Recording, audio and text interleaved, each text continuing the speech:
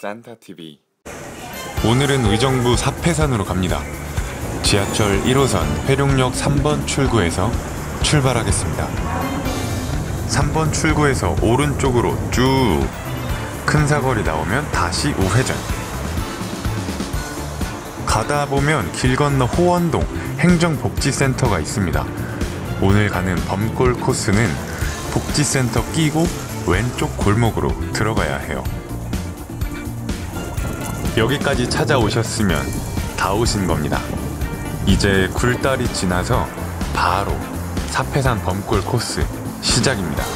여기는 둘레길 가는 길이고 저는 오늘 범골 코스로 올라가기 때문에 여기로 등산을 시작할 겁니다.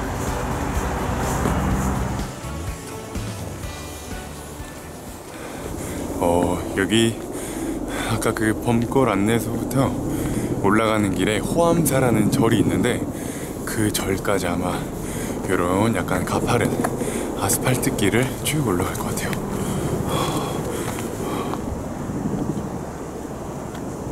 아스팔트 길 따라서 약 15분 정도만 오르면 호암사에 도착합니다.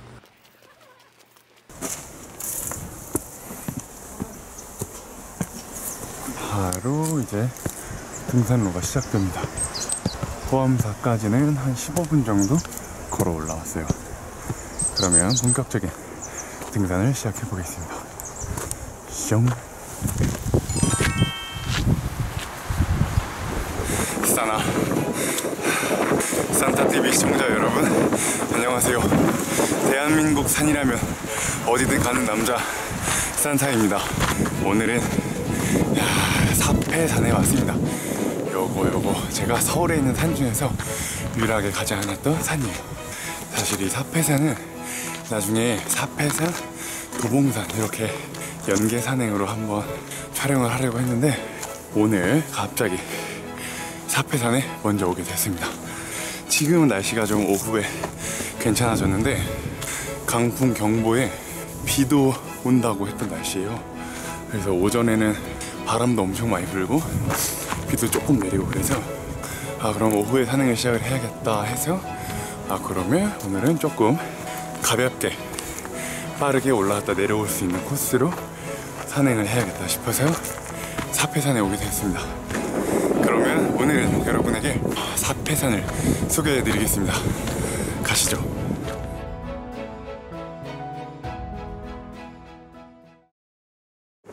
포암사에서 한 10분 정도 깔딱 계단을 올라왔습니다. 정상까지는 2.1km. 한 1시간 조금 안 걸릴 것 같아요. 일단 가보겠습니다.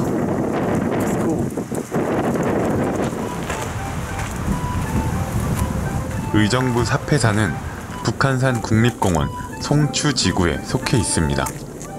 사패라는 뜻은 왕이 신하에게 땅을 하사하는 문서를 사패라고 하는데 선조의 여섯 번째 딸이 유정래양에게 시집 갈 때 선조가 하사한 산이라고 하여 붙여진 이름이라고 하네요. 한동안 군사보호구역으로 묶여 있어서 일반인의 출입이 통제되어 자연 그대로의 모습이 잘 보존되어 있다고 합니다.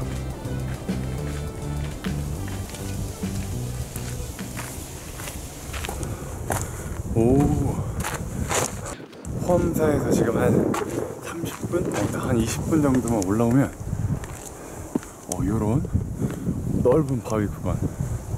어, 그리고 와, 상상봉이라는 봉우리입니다.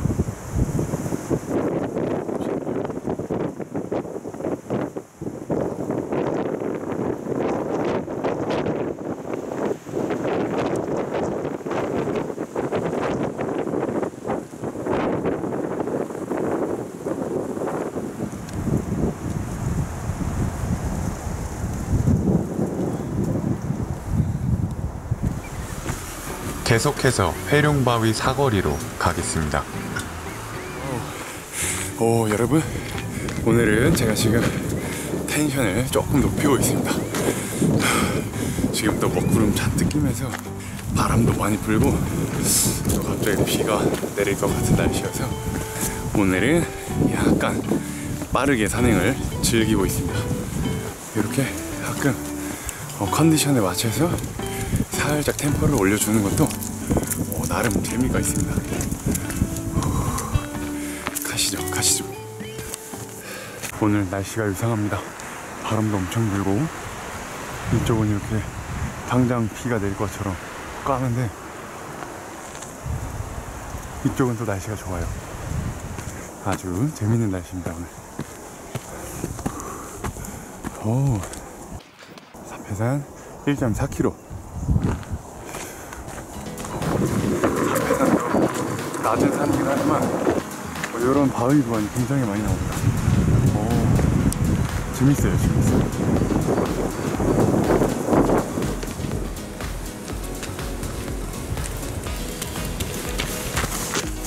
어, 여러분 방금 지도를 확인해 봤는데 지금 딱 회룡역 3번 출구에서 제가 어플을 시작했거든요 정확히 딱 1시간 됐습니다 여기가 지금 이제 그 범골 입구에서 합해산 정상까지 딱 중간 정도 지점이에요 이제 요 능선길 따라서 쭉 가다 보면 회룡바위 사거리라는 지점이 나오는데 거기서 이제 왼쪽으로 가면 쭉 도봉산으로 어, 연계 산행하는 코스고 그 사거리에서 우회전 딱 하면 사패산 정상으로 쭉 올라가는 길입니다.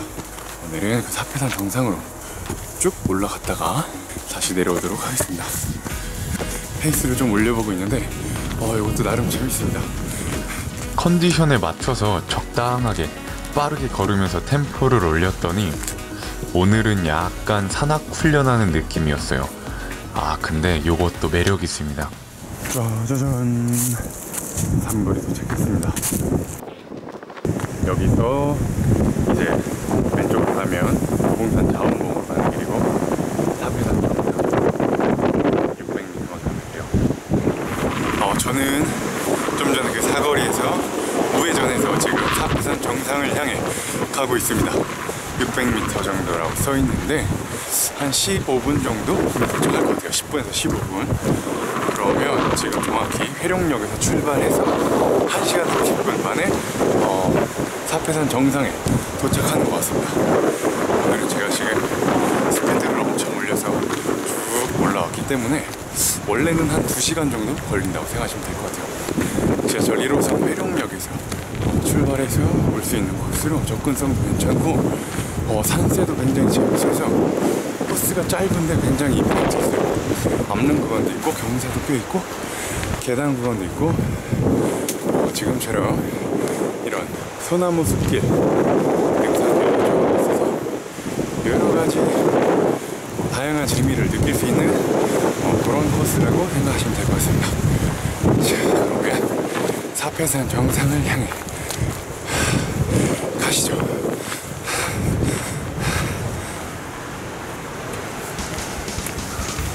화이팅 화이팅 화이팅 오 저기가 사패산 정상인 것 같습니다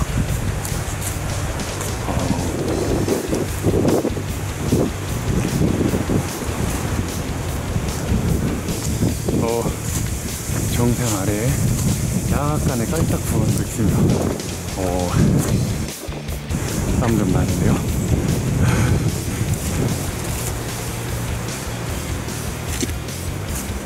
어, 날씨가 이상해요. 해가 쨍쨍 떴는데 빗방울이 또 떨어집니다.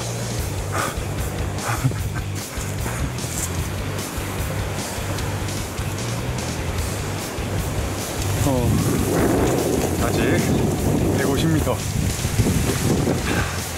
어, 근데 그 앞에 코스가 지금 굉장히 멋있어요. 이, 어, 남는 구간. 바위. 아, 가장 재밌는 바위 구간입니다. 대박, 대박. 오, 하, 장난 아니에요, 여러분.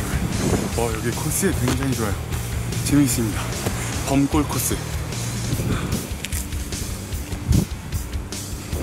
뷰도 엄청 좋고, 코스도 굉장히 재밌어요, 여러분. 사패산. 어, 놀라운데요? 이렇게 좋을 줄 몰랐습니다. 와.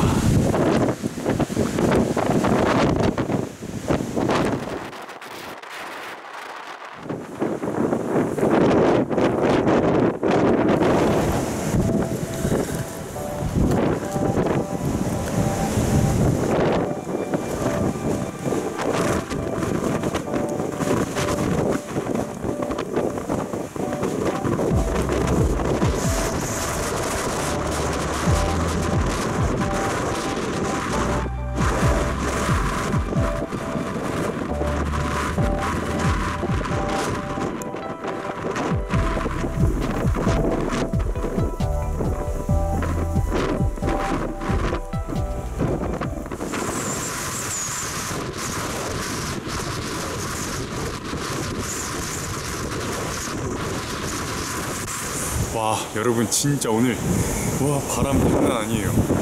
방금 정상에서 저 몸무게 굉장히 많이 나가서 무거운데 막 제가 흔들흔들 거릴 정도였어요.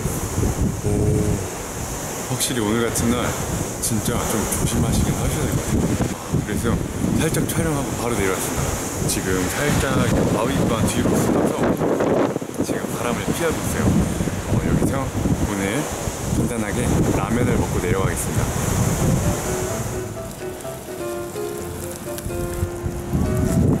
짠.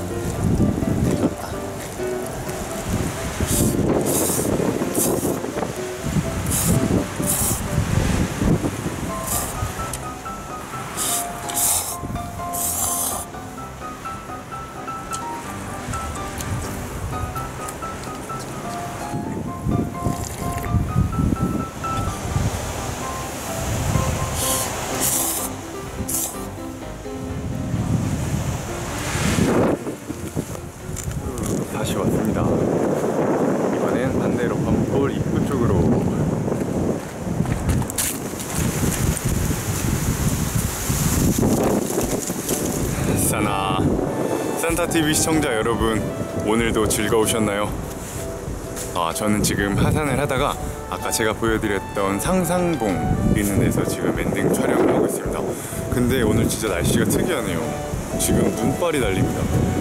아 오늘 비 오다가 날씨 흐렸다가 지금 강풍에 눈까지 아주 오늘 날씨가 제대로 진짜 호랑이가 됐어요. 오늘 도봉산과 연계 산행을 하려고 조금 아껴두었던 사패산에 아 먼저 지금 미리 한번 오게 되었는데 와 처음 와봤는데 코스가 정말 좋네요 이 짧은 구간이긴 하지만 어, 아주 좋은 코스입니다. 여러분들도 어, 가볍게 산행하고 싶으실 때 이 사패산에 한번 와보세요. 아주 좋습니다. 오늘도 재밌게 시청해주셔서 정말 감사하고요. 그러면 오늘은 여기서 인사드리겠습니다. 대한민국 모든 사람들이 산을 사랑하는 그날까지 산타였습니다. 감사합니다.